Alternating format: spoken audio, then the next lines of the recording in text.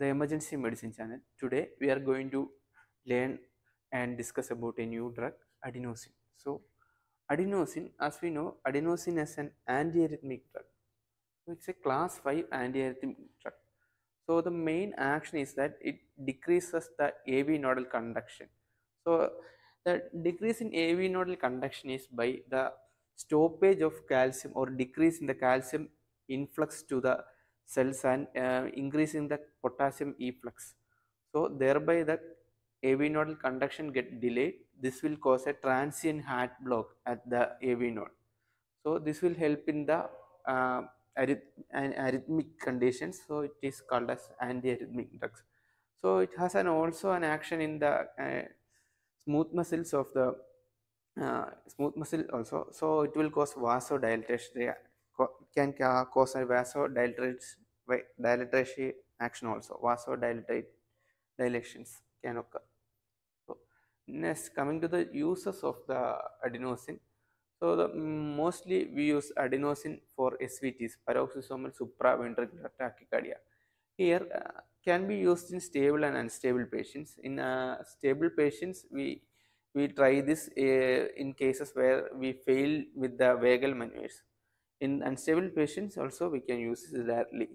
Then we can give it either by IV or central line. In IV, we initially try with 6 mg dose. If it is not uh, like if we will give 6 mg to the peripheral line in 1 to 2 seconds, followed by uh, the will uh, give an NS flush, and um, at that time itself we will uh, raise the uh, peripheries or hand to uh, get a maximum uh, fluid push towards the heart because of it, its uh, action like its metabolism wherein the adenosine is metabolized by the endothelial cells.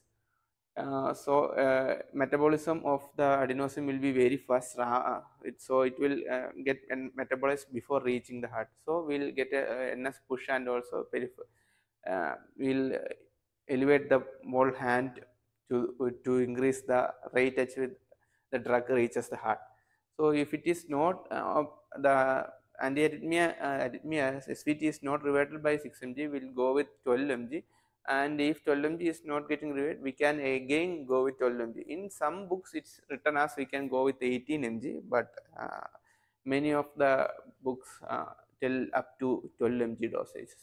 In central line we can start with say 3 mg dose which can be uh, again in, increased to 6 mg then 9 mg in heart transplant patients we will uh, reduce the dose and start with 1 mg dose then tight and uh, increase up to 2 then to 3 mg. In children will uh, the dose is a little different. Uh, 0.1 mg per kg dose is initially given and can be uh, increased up to 0.2 mg. Maximum dose uh, uh, we can give is up to 12 mg per usage per dose then uh, we can also use uh, the adenosine drug for pharmacologic cardiac stress testing. Here we'll uh, use a uh, different dosage 140 microgram per kg over 6 minutes uh, will we can also use the adenosine for fractional flow reserve testing. Here it's a diagnostic aid off label use here continuous infusion via peripheral line at 140 mil, uh, microgram per kg per minute. And also in uh, intracoronary we can give in uh, right coronary by via like 40 microgram in left coronary 80 microgram. So uh, this is here we give a rapid administration of the drug.